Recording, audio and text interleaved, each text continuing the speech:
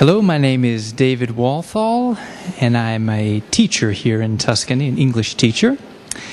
Um, there are many things I like about Tuscany. Perhaps my favorite is the variety of treasures that can be found here. Um, I myself am a person who enjoys, on the one hand, study, but I also enjoy exploring. I like to hike, I like music.